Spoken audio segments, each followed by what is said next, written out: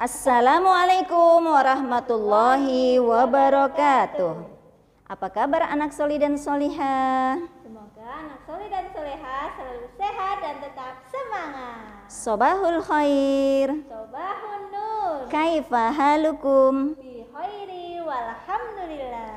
Anak soli dan soliha bertemu kembali dengan Ustazah Nur dan Ustazah. Hari ini kita akan belajar tentang tanaman. Anak soli dan soleha tahu? Ya, tanaman yang ada di sekitar kita ada pisang, Singkong, ada lagi jagung, dan masih banyak lainnya. Nah, anak soli dan soliha, hari ini kita akan belajar tentang singkong, daun singkong, batang singkong, apa saja ya kegunaannya. Mari kita ikuti video berikut ini. Siapa yang tahu ini? Ya, betul sekali. Tanaman singkong. Tanaman singkong banyak sekali manfaatnya. Salah satunya menjadi sumber energi bagi manusia dan juga bisa meningkatkan kekebalan tubuh. Ini adalah akar yang menjadi singkong. Dan ini adalah batang yang nantinya ditanam kembali dan akarnya menjadi singkong. Nah, ini adalah daun singkong yang bisa diolah menjadi sayuran. Di mana kita dapat menemukan singkong? Di kebun singkong dan ada juga di pasar. Singkong juga banyak jenisnya loh anak soleh dan soleha. Ada singkong putih, singkong gajah, dan singkong mentega.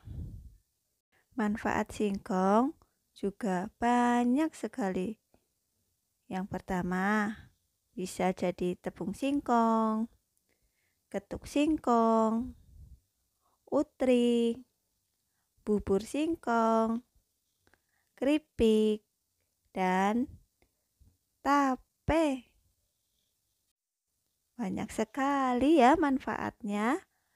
Kita harus bersyukur karena Allah telah menciptakan singkong untuk kita manfaatkan.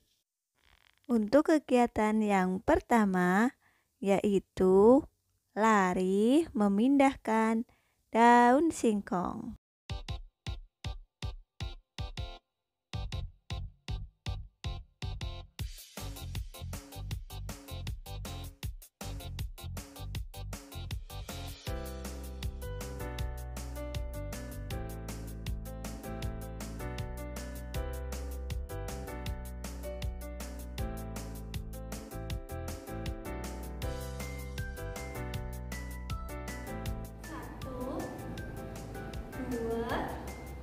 Tiga, empat, lima,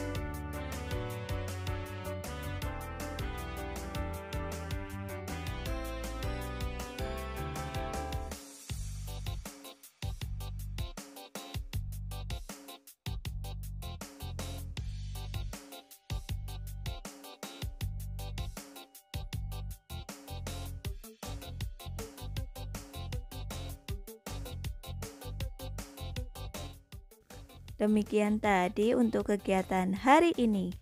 Jangan lupa kirim foto dan video ke Ustada. Terima kasih. Selamat beraktivitas.